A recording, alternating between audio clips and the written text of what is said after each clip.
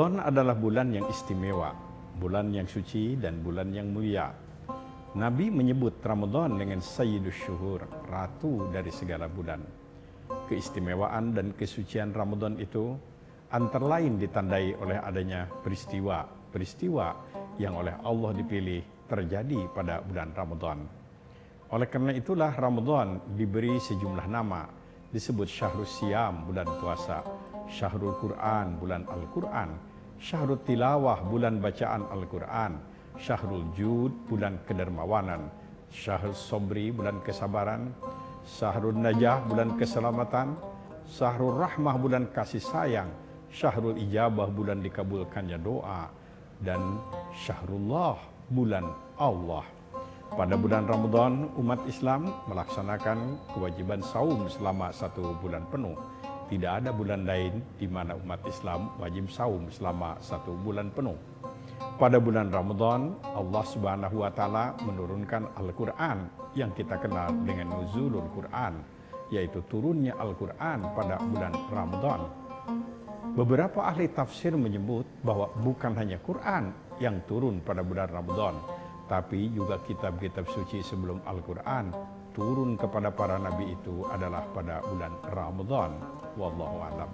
Pada bulan Ramadan, Rasulullah Shallallahu Alaihi Wasallam dilantik oleh Allah dengan menerima wahyu pertama menjadi nabi dan rasul. Kembali para ahli tafsir memberikan komentar, bukan hanya Nabi Muhammad, tapi sejumlah nabi-nabi sebelum beliau pun dilantik oleh Allah menjadi nabi dan rasul itu pada bulan Ramadan. Pada bulan Ramadan Allah Subhanahu wa taala telah menetapkan ada malam yang lebih baik daripada seribu bulan, khairum min alfi syahrin. Pada malam itu Jibril dan sejumlah malaikat turun ke bumi untuk menaburkan rahmat dan berkah Allah sampai terbit fajar. Lailatul Qadar. Pada bulan Ramadan, Rasulullah Sallallahu Alaihi Wasallam juga menyampaikan bahwa setiap amal kebajikan yang dilakukan pada bulan Ramadan, baik itu hablum minallah ibadah mahdoh maupun ibadah dalam arti umum, mendapat pahala lebih besar dibandingkan dengan ibadah atau amal soleh yang sama yang dilakukan pada bulan selain Ramadan. Setiap ibadah sunat yang dilakukan pada bulan Ramadan mendapat pahala seperti ibadah wajib. Dan ibadah wajib yang dilakukan pada bulan Ramadan mendapat pahala 70 kali lipat dibandingkan dengan ibadah wajib yang sama yang dilakukan pada bulan selain Ramadan. Ramadan juga disebut sebagai syahrul ijabah, bulan dikabulkannya doa. Doa-doa kita banyak dikabulkan oleh Allah kalau kita nyatakan, kalau kita ungkapkan di bulan Ramadan. Jadi dari dalam skala tahunan ada saat-saat doa dijabah yaitu bulan Ramadan dalam dalam bulanan ada tanggal 13, 14 dan 15 Hijriah dan pada pada skala mingguan ada hari Jumat dan skala harian ada penghujung malam. Ramadan adalah bulan dikabulkannya doa dan bulan juga diterimanya taubat istighfar hamba-hamba Allah yang memohon ampun kepada Allah Subhanahu wa taala. Mau berbuka sambil dapat amplop? Bukan buka itu. Berbuka itu berbelanja di Bukalapak. Belanja sekarang dan dapatkan amplopnya. Ada hal yang menarik dalam sejarah. Ternyata Ramadan itu di zaman Nabi dan para sahabat menjadi bulan prestasi, bulan kerja keras, dan bulan kesuksesan dan kemenangan. Kita baca sekilas. Tahun 2 Hijriah umat Islam yang baru satu tahun berada di Madinah dari hijrah dari kota Makkah. Tiba-tiba mereka diserang oleh orang-orang musyrikin Makkah. Terjadi perang Badar itu tanggal 17 Ramadan. Perang yang tidak seimbang. Infanterinya mereka menggunakan seribu orang lebih. Umat Islam hanya mampu mobilisir 313 orang. Kavalerinya mereka menggunakan ratusan ekor kuda dan unta, sedangkan Nabi dan para sahabat hanya bisa mengerahkan beberapa belas ekor kuda tapi Badar dimenangkan oleh umat Islam. Ini adalah Ramadan.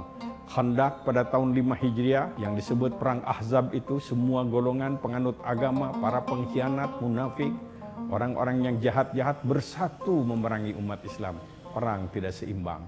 Terjadilah perang Ahzab itu menjadi perang Khandaq dan luar biasa. Perang Khandaq juga dimenangkan oleh umat Islam. Dalam dunia uh, Futuh Makkah juga ternyata adalah pada bulan Ramadan. Dan dalam dunia dakwah juga umat Islam memperoleh kesuksesan-kesuksesan justru pada bulan Ramadan. Seribu orang, orang-orang Taif menyatakan diri masuk Islam pada bulan Ramadan. Ratusan orang-orang Yaman menyatakan diri masuk Islam adalah pada bulan Ramadan dan masih banyak peristiwa-peristiwa yang terjadi menggambarkan kesuksesan justru pada bulan Ramadan. Sebagai bangsa kita tidak boleh lupa 17 Agustus 1945 adalah pada bulan Ramadan. Ramadan adalah bulan kemenangan, bulan prestasi dan bulan takarrub kepada Allah Subhanahu wa taala. Assalamualaikum warahmatullahi wabarakatuh. Mau berbuka sambil dapat amplop? Bukan buka itu. Berbuka itu berbelanja di Bukalapak. Belanja sekarang dan dapatkan amplopnya. Caranya, buka aplikasinya kemudian login ke akun kamu.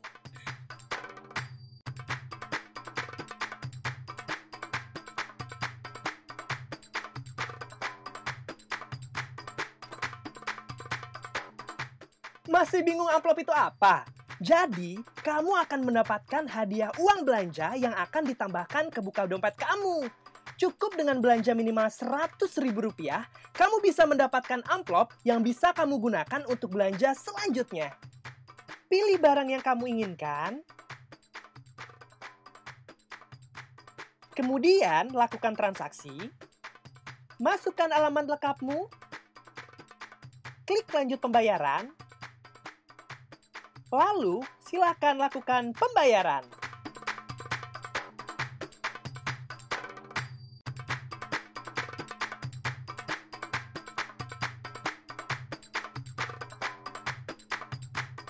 Pelapak mengirimkan barang dengan resi valid, maka kamu akan mendapatkan notifikasi bahwa kamu telah mendapatkan amplop.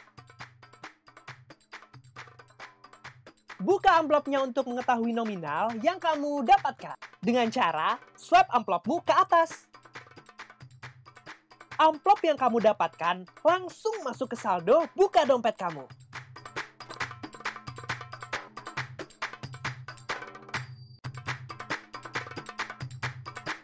Makin banyak kamu belanja, makin banyak amplop yang kamu dapat untuk belanja selanjutnya. Dari sembako sampai baju koko.